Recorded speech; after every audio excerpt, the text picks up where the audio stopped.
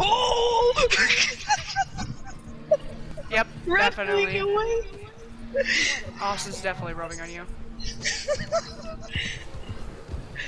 I was opening a chest and a standard bear popped up behind me like, hey, what's up? I was like, oh god, please have mercy. Okay, so near the Dakota River we should be okay. Yeah, they grow near the Dakota River. It's just the closest river I'm nearby. Yeah. I'm taking my So- pants off. Please, please don't click that.